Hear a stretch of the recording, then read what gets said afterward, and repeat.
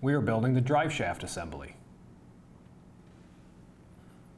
For this assembly, you're going to need a Mecanum wheel with the universal hex adapter pre-installed, two 15 millimeter spacers, three 3 millimeter spacers, one long through bore bearing, two of the short through bore bearings, a shaft collar, a 90 millimeter length of 5 millimeter hex shaft, and a 1.5 millimeter Allen wrench. To begin with this step, you're going to want to take your shaft collar and add it to the end of your 5 millimeter hex shaft. You want to make sure that this is going to sit flush with the end of the hex shaft as all the measurements for things will be off of the hex shaft itself. So just make sure that this is nice and flush.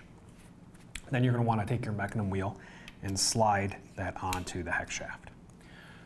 The mecanum wheel, it's not important if you're using a left or a right mecanum wheel, as all of this is just being used for spacing and will be removed later on during the assembly.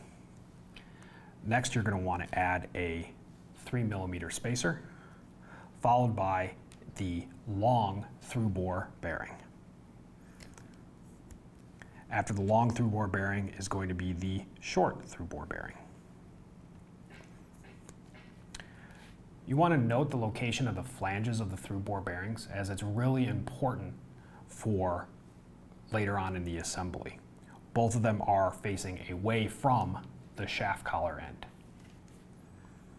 After this is complete, you're going to want to add a 15 millimeter spacer, followed by another 15 millimeter spacer, and the last of your three millimeter spacers. Once that's complete, you're going to want to take the remaining short through bore bearing and slide that into place. It's important to note that the flange on this through bore bearing is in the opposite orientation of the ones that you put on earlier. This will be important further on in the assembly. Once this is done, the drive shaft assembly is complete. You're going to need to repeat these steps one more time to get a second drive shaft assembly.